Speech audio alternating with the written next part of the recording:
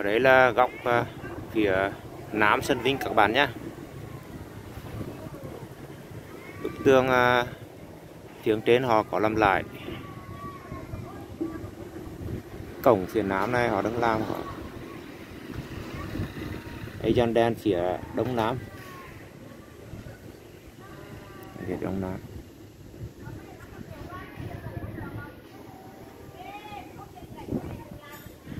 còn đấy là gian đen phía phía tây nam sân vinh còn đấy là hướng nam sân vinh các bạn nhé. Tường màu vàng. Có hành lang nơi đến à, xung quanh sân vinh thì có một cái à, đường đi xung quanh các bạn nhé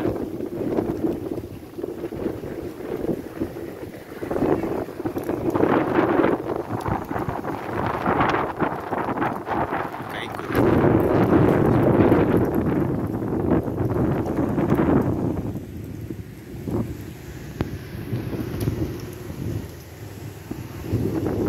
đấy là thanh cổ vĩnh các bạn ạ.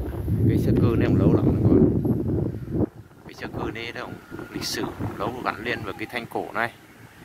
Thanh cổ này là thanh cổ là gọi cửa tiên xây dựng vào thế kỷ thứ à, đầu thế kỷ thứ 19 1803 như đấy.